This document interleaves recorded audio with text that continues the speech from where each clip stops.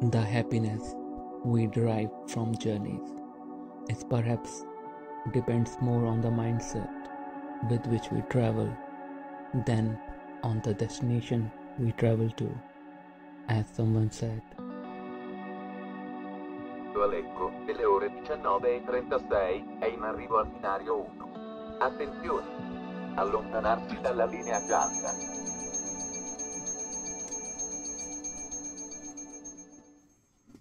Pas de soleil, pas de soleil, pas de soleil.